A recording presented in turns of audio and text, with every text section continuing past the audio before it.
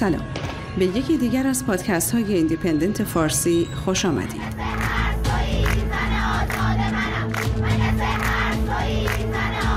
بچه کشی جمهوری اسلامی ایران و عواقب داخلی و بین المللی آن.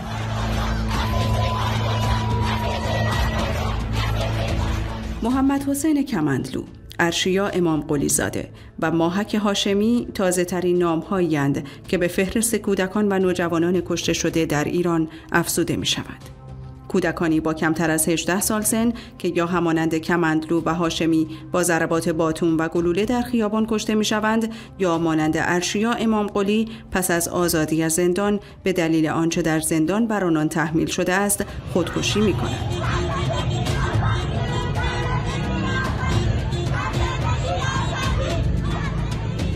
شواهدی که ما خارج از ایران داریم هم شاید به اندازه کافی رسا هست که به ما حالی بکنیم این برنامه هم که شما میگید برنامه موفقی نبوده. ولی چرا جمهوری اسلامی اصلا از ابتدا به دنبال این فکر بوده؟ برای اینکه اینها واقعا مثل هر حکومت عقیدگرای دیگری خودشون رو ماندگار می‌بینن و مبادرت به اقداماتی می‌کنن که این ماندگاری رو براشون تثبیت بکنه. و البته همیشه عکس این ثابت میشه.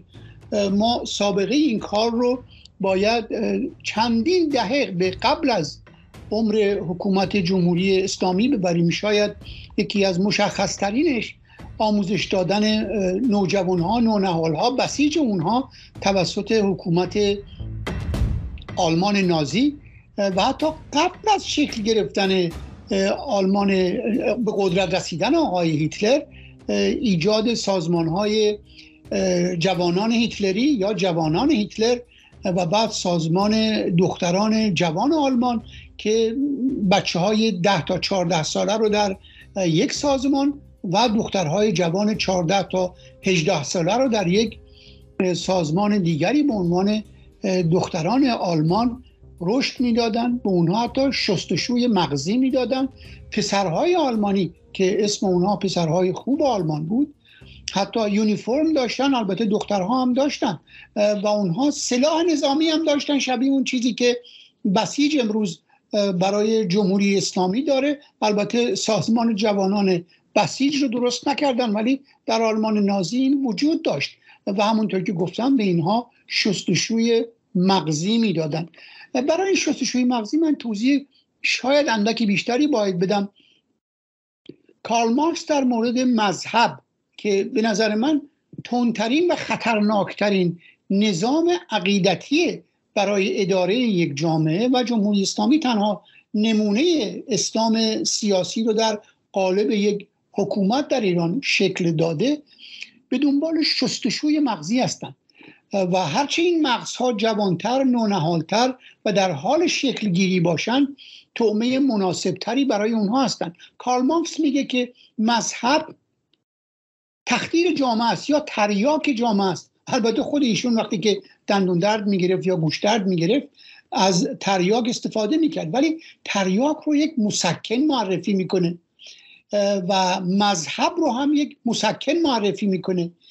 و علتش هم که این تصور رو عرضه می‌کنه به عنوان یک نظریه این است که مذهب واقعا برای کسانی که دچار مشکل هستند زندگی و هستی براشون دشواری هایی داره دارای ترس های متنوع هستند اینها برای عبور از این ترس ها به مذهب متوسل میشن و مذهب به اونها مسکن میده. مثلا جمهوری اسلامی وعده بهشت میده و شهادت رو نوعی عروج می‌دونه و رفتن به یک هستی دیگه و جمهوری اسلامی با استفاده از این وضعیت می‌خواد نسلی رو یا می‌خواست نسلی رو درست بکنه که شستشوی مغزی شدن.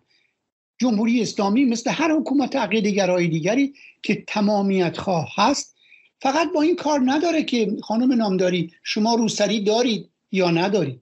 به تمام بخش های زندگی جامعه می‌خواد وارد بشه. حتی اگر یک روز به جای گلوله در خیابان شیرینی تقسیم می‌کنه این نظریه و عقیدش نیست این کوتاه آمدن از طرز فکرش نیست. این یک تاکتیک موقته برای اینکه بتونه از بحرانی که دچار شده عبور بکنه و دوباره گلوله رو با شیرینی جایگزین بکنه و با هر قیمتی به تمام ابعاد زندگی جامعه تسلط داشته باشه. حالا رشد دادن نسلی تازه با طرز فکری که اونها می‌خوان القا بکنن می‌تونه هدف درستی باشه برای اونها. البته همونطور که برای چینی ها بود در جنگ منچوری شما اینو دیدید در جنگ کره دیدید یا آلمان نازی که این سازمان های جوانان رو درست کرده بود و دیدیم هر دوی اونها به شکست کشیده شد. هر دو طرح بزرگ و جمهوری اسلامی هم حالا شکستش رو در خیابان های ایران می‌بینید. با وجود میلیاردها هزینه ای که جمهوری اسلامی برای توسعه عقاید خودش و پرورش تفکر تازه در جامعه یا تثبیت خودش در افکار مردم دیده می‌بینیم که شواهد خیابانی عکس نیت های اونها رو به رخ اونها کشیده.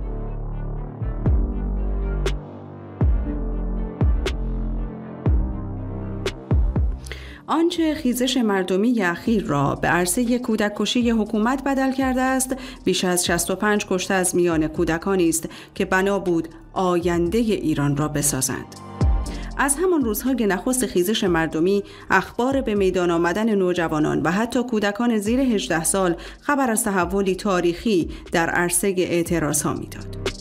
دختران و پسرانی بیباک و شجاع در سنگر اعتراض های خیابانی حضور داشتند و در اعتراض به کشته شدن محسا امینی خواهان پس گرفتن اختیار انتخاب سبک زندگی خود بودند. شهروندانی که قربانی خشونت اوریان سرکوبگران نظام شدند. آیا یک حکومت اشغالگر در یک سرزمین اشغالی رفتارش با مردم می‌تونست بدتر از این باشه؟ در روی صحنه یک تصویر دارن که این تصویر کاملا با اون که به خلوت می‌روند تفاوت می‌کنه با نهایت خشونت و بیرحمی. زن و مرد پیر و جوان رو به گلوله میبندن برای اینکه خطر فوری رو دفع بکنن. اگر که سیاست های دوگانه اتخاذ می‌کنن فقط برای منحرف کردن از خانه عمومی است. در نهایت با وجود اینکه دستشون رو شده مردم اونها رو خوب می‌شناسن. همیشه متظاهر به این هستن. اون که روح الله خمینی به عنوان تقیه ازش یاد می‌کرد. به اون که نیستن و همونطور که گفتم برای باقی ماندن هر وسیله برای اونها قابل توجیه بنابراین این حکومت نمی‌تونه حکومتی باشه که روزی قابل اصلاح حکومتی باشه که می‌تونه نرمش اتخاذ بکنه حکومتی که می‌تونه در کنار نیازهای مردم باقی باشه. این حکومت به اسم خدا مردم رو اون که لغت سابجکت که در زبان انگلیسی ازش استفاده می‌کنیم اتباع خودش می‌دونه. و اسلام رو به عنوان تسلیم از مردم می‌خواد. از چنین حکومتی انتظاری غیر از این نمیشه. داشت و مهم نیست که علی خامنه ای سر کار یا روح الله خمینی. الان دهه شست و قتل های دهه شست شاهد هستیم و یا چهار سال در آبانها حکومت علی خامنه کشتاری به همون ترتیب رو زمین سازی و اجرا می‌کنیم کشیده شدن اعتراض ها به مدارس پرده دیگری از سرکوب حکومت را به نمایش گذاشت که نقض تمامی قوانین حقوق کودکان بود.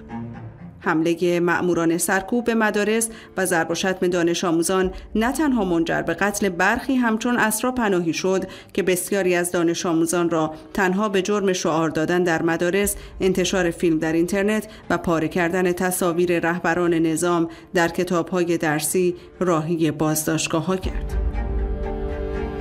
آنچه خشم حکومت جمهوری اسلامی ایران را از معترض شدن دانش آموزان افزایش می‌داد چهار دهه سرمایه گذاری تبلیغی برای ذهنشویی کودکان بود که گویی ناگهان تمامی آن بی اثر شد کسانی که در مدارس جمهوری اسلامی ایران درس می‌خوانند با الگوهای ثابت حکومت برای القاء تفکر و ایدئولوژی خود بر کودکان آشنایند. از شعارهای جنگ طلبانه صبحگاهی مدارس تا انواع اردوهای غیر درسی برای تبلیغ تفکری که حکومت جمهوری اسلامی آن را مکتب بسیجی می‌خواند. گویی نتوانسته بود کودکان این نسل را با خود همراه کند. نسلی که نه در یک شهر که در تمام ایران همزمان با آغاز اعتراضات در خیابانها نه تنها مدارس را با کشف هجاب و شعارهای خود فتح کردند که پس از پایان ساعات درس هم به خیابان می آمدند. واقعا جهان خارج گوش شنوایی برای اعتراضات مردم ایران نداشت اعتراضاتی که حالا به یک فاز انقلابی وارد شده پخته شده تولد تازه ای رو نوید میده از ایران از کشور ما از ملت ما که درش همبستگی هست رنگ قومی از میان رفته. و این تولد تازه آینده ای رو می‌تونه نوید بده که جامعه فردای ایرانه ولی اگر که این تلاش ها این کنش ها آرام بشه یا این آرامش رو به اون تحمیل بکنن واکنش جامعه جهانی می‌تونه تفاوت بکنه. در همین حالت ما می‌بینیم که در طول سه ماه گذشته واکنش جامعه جهانی بد نبوده. حتی اگر در هیته سیاسی ما اقدامات تند و قاطعی رو شاهد نبودیم در هیته های فرهنگی و هنری در موزیک و سینما به قدری تولیدات متنوع شکل گرفته در طول سه ماه گذشته و این تولیدات ماندگار خواهند بود. که از میان بردن اونها واقعا امکان پذیر نیست و این بار روحی فشار سیاسی سنگینی را علیه جمهوری اسلامی تحمیل می‌کنه و تحمیل این فشار ادامه پیدا خواهد کرد. ولی اگر کشورهای خارجی کشورهای اروپایی به خصوص آمریکا و کانادا نیت اعمال فشار داشته باشند این یک وسیله است. تا به حال سابقه نداشته که جمهوری اسلامی رو به جرم ایزا و اذیت بچه و کودک به جرم ضایع کردن حقوق بشر به کمیسیون حقوق بشر سازمان ملل ببرن و ببرن با این رأی قاطع مصوبه ای رو از رأی کسانی که کشورهایی که عضو هست بگذرونن. و یقینا قطنامه ای که صادر خواهد شد بعد از شکل گرفتن کمیسیون تحقیق جایی برای تردید و تعمل برای کشورهای خارجی باقی نمی‌گذاره. ما یک بار دیدیم وقتی خانم زهرا کاظمی روزنامه نویس دو ملیتی ایرانی کانادایی رو 20 سال پیش سال 2003 وقتی در زندان کشتن یونسی اعتراف کرد که این زن واقعا جاسوس نبوده. ولی سعید مرتضوی می‌خواست که او رو به عنوان جاسوس معرفی کنه. به حال به دنبال قتل فجیع این زن رابطه ایران و کانادا به هم خورد. کانادا سفیر خودش رو احضار کرد.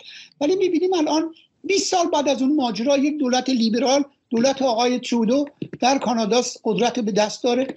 این ماجرا رو شاهد بوده روابط تیرو و تار کانادا رو در نتیجه ماجرای زهرا کازمی شاهده و حتی سه سال پیش موضوع فرو کشیدن هواپیمای اوکراینی رو با شلک شلیک موشک قصدی سپاه پاسداران شاهده ولی همچنان حتی از قرار دادن اسم سپاه در لیست گروه های تروریستی خودداری کرد. یه تعدادی که هرگز مسافر کانادا نبودن به عنوان تحریمی در یک لیست سیاه قرار داده. ولی سپاه پاسداران با وجودی که نیروهای قدس رو تروریستی معرفی می‌کنه ولی هنوز به عنوان یک گروه تروریستی به رسمیت نشناخته. خب کشورهایی مثل کانادا یا دولت مثل دولت آقای ترودو یا دولت آمریکا که همین تا چند هفته قبل لاقل تا پیش از اوج گرفتن انقلاب داخلی ایران همچنان همه تخم مرخای دیپلماسیش رو در سبد سازش با جمهوری